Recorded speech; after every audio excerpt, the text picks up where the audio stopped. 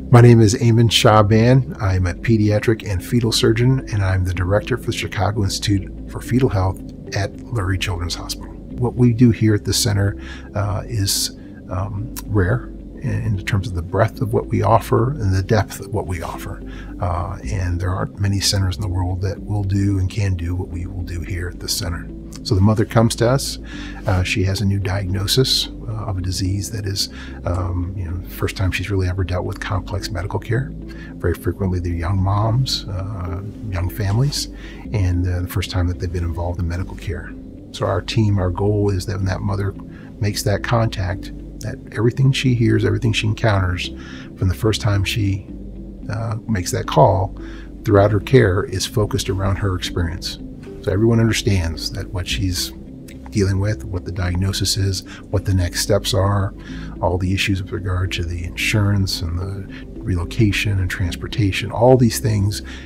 From the minute she calls us, there's someone on the line that's going to shepherd her through that process. We try to get to know the families, understand what they know, what their concerns are, uh, where they are with everything, and then take it from that point forward with our education, with our counseling, with our discussions and our plans.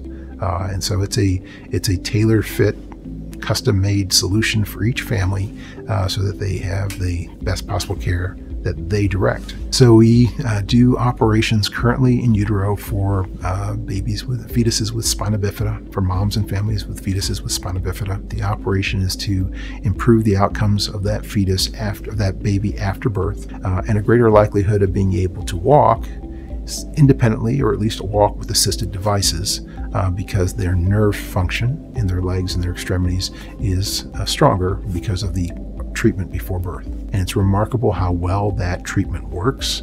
Uh, and there are many, many, many, many, many babies on this earth as a result of the pioneers who developed this procedure. When I would tell a mother who's interested in who who has a question about coming here, I would I would tell her that uh, from the minute she calls, uh, she will have someone who will understand what she's dealing with and will be an expert and a specialist in the area she's dealing with.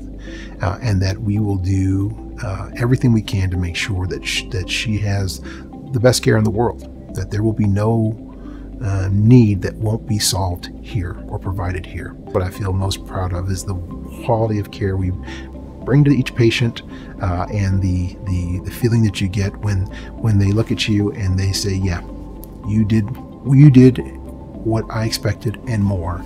And I feel that you, uh, that I trust you, um, and, and I appreciate everything that you've done.